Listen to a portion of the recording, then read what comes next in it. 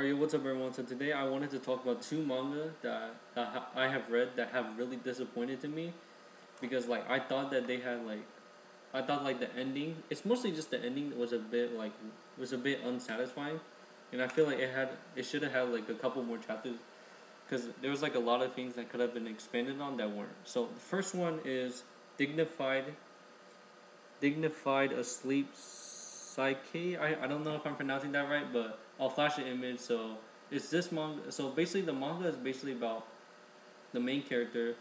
Completely forgot his name, but he his like he's in he his next the person that's sitting next to him in class is basically this girl named Saika. I think that's how you pronounce it. That like likes to sleep in class. So one day he notices that that she like one day she notices he notices that he's like she's like sleeping in class but she's sleeping really weird. She's sleeping like really she's sitting standing up with her eyes closed and he catches her one day and then he tells her about it and then it, it starts like their daily lives of like him seeing that he's asleep in class and like him trying to like help her sleep in class because she apparently likes sleeping. So the series, um, it's fine. I'll, at most, I'll give it like a six out of ten because like, I feel like a lot of the characters, especially Saika, she doesn't have any personality. Her only personality is that she sleeps. Like it does get really boring after a while. But I still enjoy it because this this was during I read this during the time where uh, I was like really into like the slice of life romance, like Takagi-san like manga. So I, I kind of enjoyed it, but the ending it was it was it was low key whack.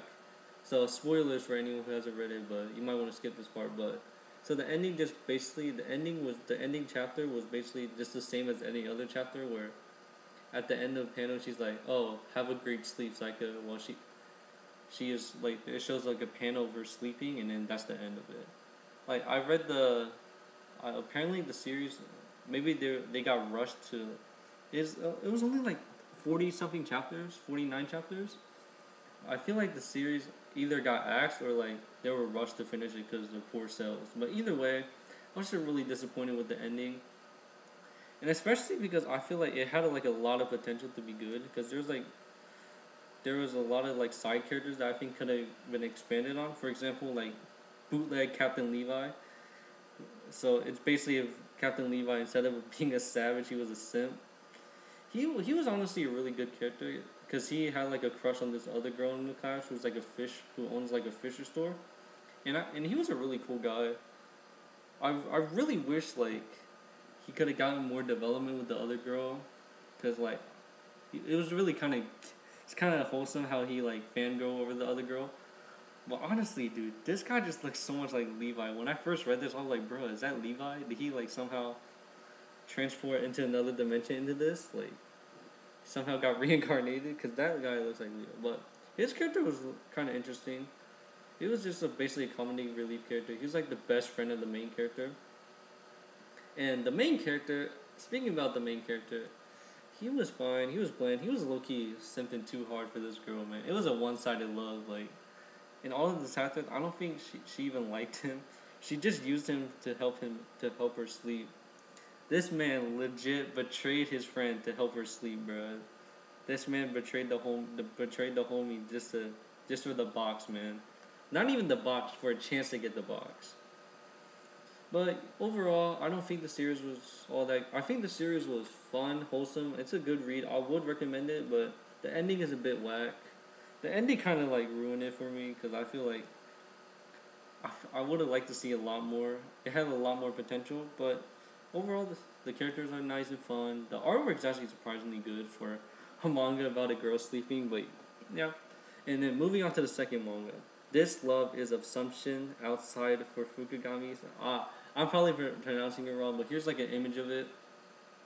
So this series, I think it had a lot more potential than Saika-san because there are actually like interesting characters with backstories. So the gist of it is basically Fukugami. He's like a, a top student at the school and he like he has his whole life planned out with like a plan, a note planner, and because his family is like a bunch of like people who like, I think it was a bunch of people who just like messed around a lot, and he doesn't want to be like that. He wants to be like a straight model person. He even decided what college he does wants to go. Like his whole life is like mapped out on a plan. He even has like a plan for like his ideal type of girl. So like he wants to like live his whole life through a plan. It's kind of like um, that guy from Bungo Stray Dogs, the one with the glasses. He lives his life through like a plan. It's kind of like that. So one day he meets this girl. I completely forgot her name as well.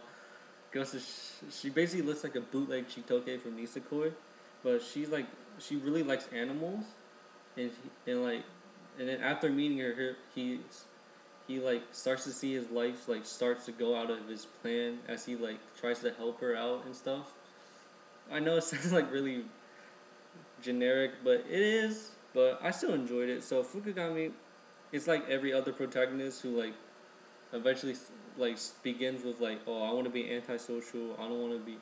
And the one thing is like he's like really handsome, so like he likes like every single girl likes him, but like whenever he got confessed to, he would be like, I have the ideal set of plans. If you don't want to follow them, you can't date me. So basically, all the girls, all the girls obviously don't want to follow that plan. So he rejects a bunch of other other girls. But it's basically like Hikigaya from Oregairu, where like they start off as like, oh, I don't want to be social and all that. I want to stick to this. But at the end, they like change. I mean, I, I'm not, I'm not really too big on that because for example, like Hikigaya, let's just talk about him. But like, I really kind of like him being like a loner, and because after like the third, uh, like I kind of feel I kind of like being him a loner. So like when he started to turn like kind of simpish, I didn't I wasn't the, really the biggest fan of that, but it was still good. Oregairu was still a good series, but Fukugami he he did kind of turn into a simp afterwards, even though he said he wouldn't. Basically, in this series, instead of the girl being like really liking him, like we don't even know if the girl even likes him or not. But instead, it's like the main character being a tsundere. So I guess if you're into that, it's it's good. This man, this man was low key simping too hard though. He literally traveled to another country just to see her, and all he got, he didn't even get anything out of it.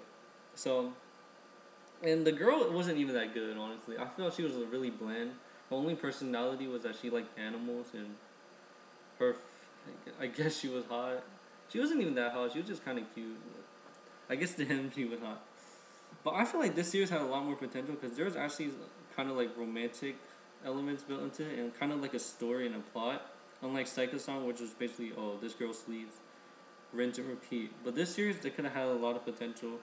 Like his best friend and the girl's best friend, they actually kind of had like a little thing going on. So I thought like maybe that could have been developed he also has like a brother who's like apparently super hot and like they don't really get along well, but he wants to get along well with him. I thought that could have been developed a bit more.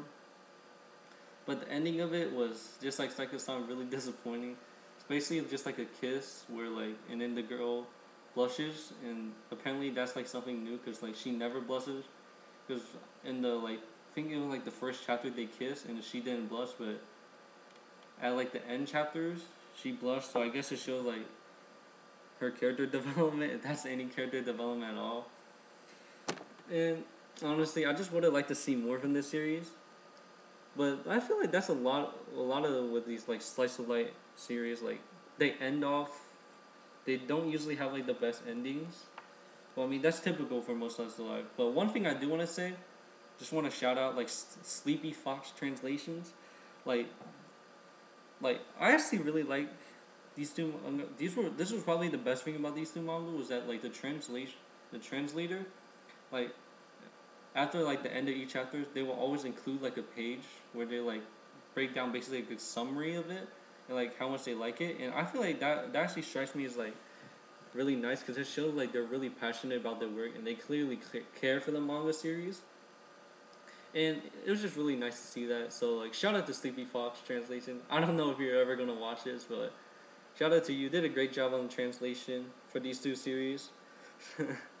even though they, even though they weren't that good in my, they were pretty disappointing in my opinion. Your translations were definitely on point. So, and that's pretty much it. Peace.